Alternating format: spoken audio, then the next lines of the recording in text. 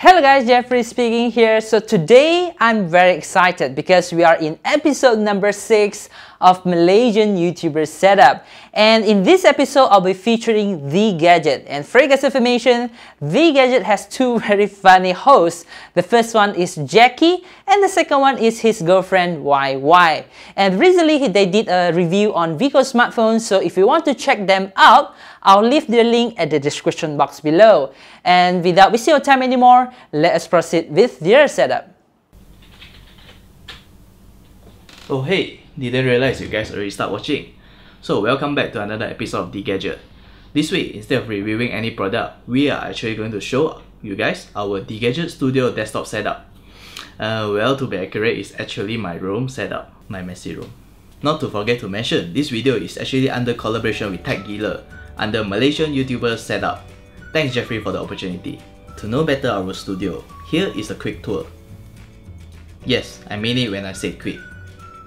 Uh, ignore the broken curtain, it is an piece of art created by myself. Our main workstation is on this L-shaped desk where my desktop set up on the main area, while usually the other side will be occupied by YY laptop.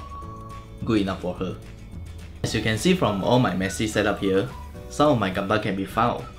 I can assure you that I'm a huge fan of Gunpla and probably the amount of Gunpla I own can buy me a better desktop, something better than currently I have, maybe.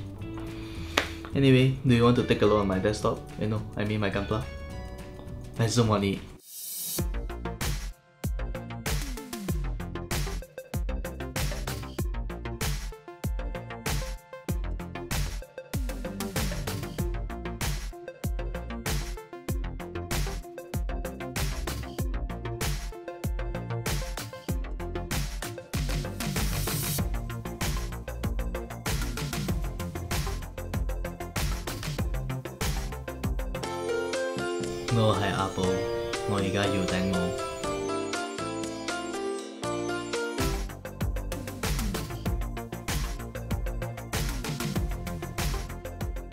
Okay, back to serious business. Let's take a quick look on my setup. My main CPU is built with Intel Core i5-4460, clocked at 3.2 GHz, 8 GB of RAM, and NVIDIA GTX 950. Nothing fancy, but sufficient enough for the production use. I don't really fancy on keyboard either, hence the colorful built-in LED AVF Gaming Frag AKB GK1 is good enough. The Logitech? Uh, I forgot what model, but this mouse comes with two programmable macro buttons. It's great for gaming, especially Dota. Yes, I do play Dota, and me in Steam maybe. I have two monitors here as well, the AOC 2269WM and Acer X223HQ.